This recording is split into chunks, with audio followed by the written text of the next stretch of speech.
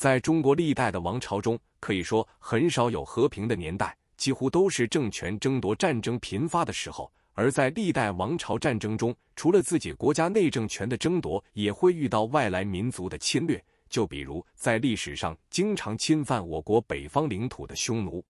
对于匈奴，大家想必略知一二。毕竟在诸多的史书以及影视剧中，匈奴这一形象都经常出现。而匈奴作为北方的游牧民族，为了能够获得更好的生存环境，经常与我国历代王朝争夺边境的领土。所以，匈奴在我国历史上有着很久远的记载。既然匈奴是北方的游牧民族，那这个民族算是中国的黄种人，还是算欧亚地区的白种人呢？对于这一问题的答案，想必很多人都十分的好奇，并想知道其中的真相是怎样的。随着时代的发展，到了科技发达的今天，科学家通过 DNA 检测匈奴人的基因，终于发现匈奴是属于什么人种的真相。对于匈奴这一北方游牧民族，想必很多小伙伴对这一民族并不陌生。毕竟这个民族在我国历朝历代都是一个极其难以对付的对手。为了争夺更广泛的领土，他们常常南下侵略我国的边境领土，这也给我国历朝历代的统治者带来了很多的麻烦，也给边境地区的人民带来了战争的灾难，导致边境地区民不聊生，百姓流离失所。而匈奴对于侵略我国领土的历史记载，有着长达八百年的历史。匈奴最早出现在周朝时期，一直到汉朝末年才渐渐没落。所以，匈奴在我国历史上影响了很多朝代的安宁，在历史上也有很多抗击匈奴的将领，就比如秦朝时期的蒙恬大将军，以及后世的霍去病和卫青等人。所以，对于历朝历代的统治者来说，匈奴是一个极其大的隐患。这个民族影响着王朝的安宁，影响着政权的巩固。为什么这么多朝代没有一个统治者能将匈奴彻底消灭呢？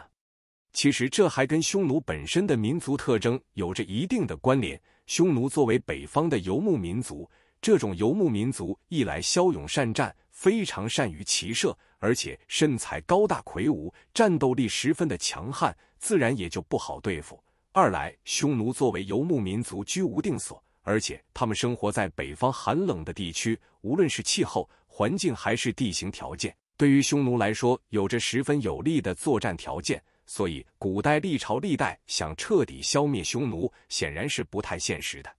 既然匈奴作为北方的游牧民族，那这个民族按照现在的民族划分来算，它是属于哪一国，或者是说哪一个人种的人呢？对于这一问题，想必大家有着很深的疑惑。倒先来看看古人对于匈奴人外貌特征的记载。在中国以及外国一些史料记载中，对于匈奴的描述有着不同的样貌特征。对于匈奴是什么人种，并没有明确的记载。毕竟在那个时候还没有确定人种这一划分的界限，甚至对于不同国家的人都没有明确划分。但是不同的史料对于匈奴人身形样貌有一定的描述。在中国的一些古籍资料中，描述匈奴人身体特征，称匈奴人眼眶凹陷、高鼻梁，以及有着比较多的髯毛，而且身材高大。所以，从这些样貌特征来看，匈奴并不属于中国的民族，也应该不属于黄种人的范畴。而且，根据匈奴人所在的区域位于蒙古以及俄罗斯周边的地区，可以确定当时的匈奴人是和周边的蒙古人以及俄罗斯人有着一定的血缘关系。毕竟民族之间会产生融合，更何况匈奴在北方还盘踞近千年的历史，与这两个国家民族交融也是情有可原。所以从上述条件来看，匈奴人很可能属于白种人的范畴。而在外国的一些史料记载中，匈奴人呈现身材矮小、体格粗犷，而且头发以及肤色的特征都是和现在的亚洲人极为相似的。所以，从外国的史料记载中可以看出，当时的匈奴人也很有可能是属于亚洲人种的黄种人，又与中国所记载的一些史料发生了冲突。对于匈奴归属于黄种人还是白种人这个问题，终究还是没有得到很好的解决。那对于这一问题，在千年之后，科学家通过 DNA 检测后，又有怎样的结果呢？对于匈奴是什么人种这一疑问，在千年后的今天，随着科技的发展。我们拥有先进的生物技术，可以通过 DNA 检测判断分析匈奴是何人种。于是，科学家便对匈奴人种的 DNA 样本提取，并进行比对。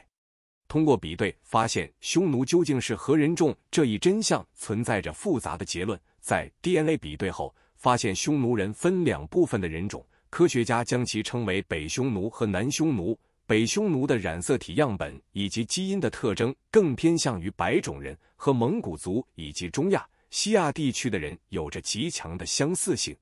但是他们并不属于真正意义上的白种人，因为他们经过民族的融合，既有着白种人的特征，也有着部分黄种人的特征。不过，他们的身体特征和样貌更偏向于白种人，所以还是应该归于白种人。